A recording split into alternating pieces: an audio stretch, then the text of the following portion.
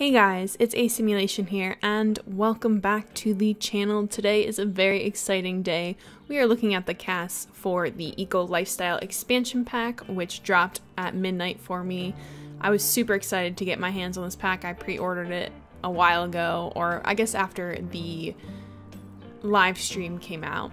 But here we are creating Ingrid Frost. I'm not going to play with the sims I create in this CAS overview. I'm just kind of looking at the CAS items for this. So she is a master maker, which is a new aspiration, and then she has recycled disciple, green fiend, and I forget the other trait that she has. But if you want to look at those, you can pause the video because I scroll over each of them.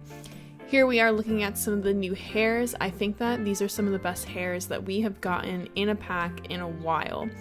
Now, as you know, hair is a big thing in the Sims community, especially because like CC creators create all types of hair because a lot of the times the hair in the game is just not good, or personally to me are not good. Some people like the hair, some people don't. I just don't like some of the hair, especially like the new Nifty Knitting pack, those dreadlocks look amazing. However, I think that the part looks weird, so I don't know if I'll, I'll utilize that as much as I wish they did. The only thing I would say about this pack is that I wish we had more. I think the phrase is ethnic hair. We do have the one at like the last hair that we look at that looks more textured towards darker skin sims However, we don't have a lot of textured hair for different types of ethnicities because I know that is a big need in our community, so I was kind of disappointed about that. But otherwise, I think that these hairs look pretty amazing. I love this hair right here, especially for a male sim. I think that would look incredible. And I like that the shorter hair options are also in the feminine category. And then you can also take off the masculine tag for the male sims and utilize any of these hairs, which I think is awesome.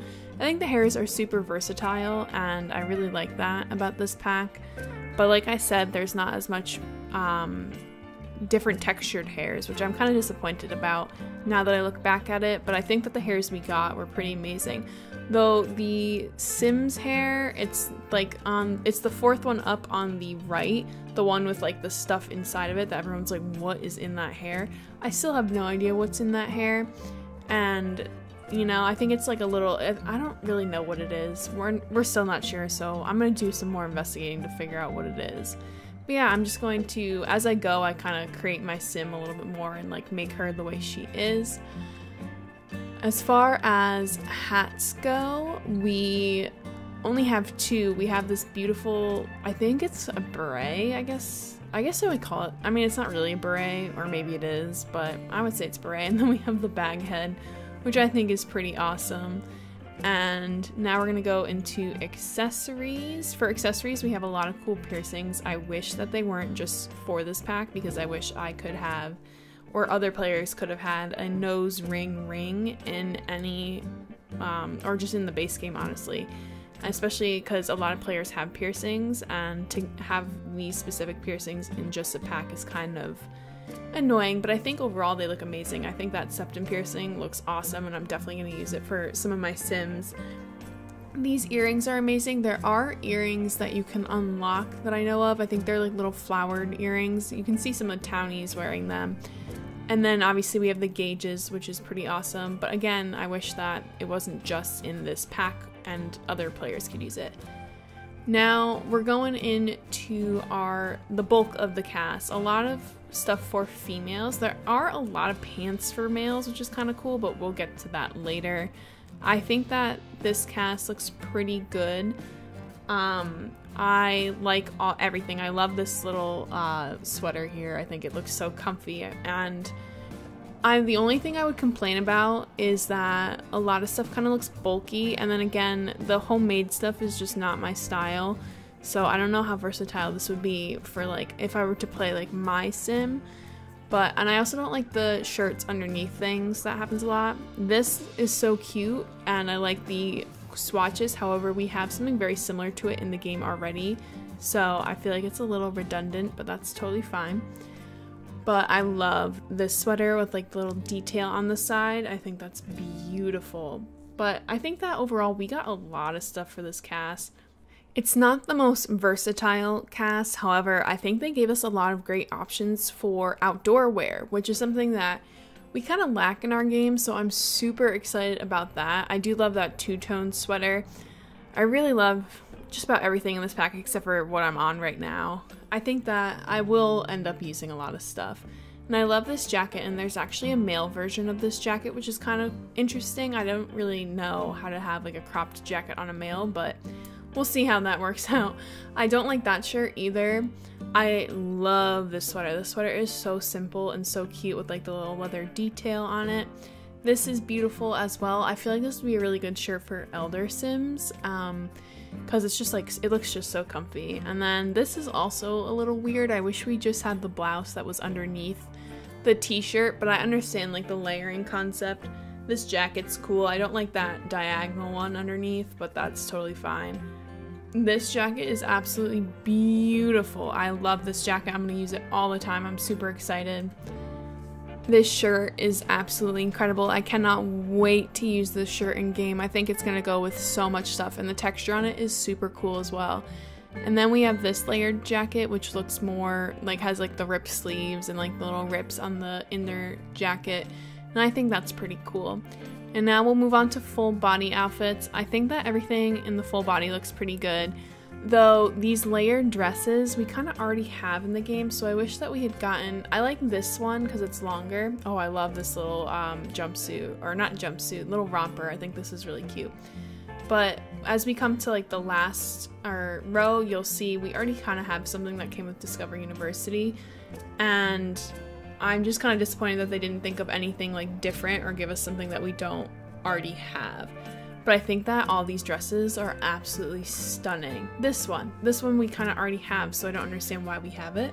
I mean, it, I'm not complaining that much because it is a beautiful little addition. I also love this outfit here, but I wish they had given us something like this pack is very new and different to what they've done before, and I wish they had given us the like a different type of like stuff that we don't already have. Here I am just putting a shirt on her and then we're going to be looking at the pants. I think that this pack really snapped with the pants. I think these pants are incredible. The male pants are absolutely incredible too. These are fun. I like those. I love this little skirt. I think it's so cute. It's very versatile. It looks really good with that shirt. We also have this longer skirt, which is absolutely beautiful. And then the rolled over um, overalls are so cool. I absolutely love them. I think they're a great addition and they look amazing on the male Sims as well. These cute little knit shorts, I literally have a, a, pair of these. These are awesome. They also come in leggings, which we'll see a little bit later. I think they're incredible. I do not like this skirt over jeans. I don't get it. I don't like it. I just don't understand it. I actually really like these pants. Now the only thing is I didn't really like stop on the back, but they kind of make the Sims look like they have a little bit of a wedgie, but overall I think the textures are really cool. Here are those longer knit pants, which look pretty awesome. I think that this is a great addition to the game and pretty awesome. These I do not like. They are very low cut and I just don't like them. These shorts are incredible. I think they look very cute, repurposed and everything like that and they come in some normal swatches as well. This long skirt is absolutely incredible. I can see a lot of Elder Sims actually wearing some of this stuff, which is great. These pants are literally the most incredible pants ever. I love them so much. I love that they come in that pink color. These pants are cool, like the, with the repurposed. I'm not a big fan of the like little plaid underneath. If they had just had rips with like the thing on the side, I would have been fine with that. These shorts are incredible. They have cool swatches. Then I do not like these pants, but I think they're pretty awesome at the same time, which I don't know how that works, but it works. And then we also got new shoes. I think we got four, which work for the male and female Sims. Of course, I'm struggling here with the tags. I just always click off everything. I think all the shoes are offered to males except for these little um, whatchamacallem, these little sandals. I think these are incredible. I love them. Um, they're beautiful.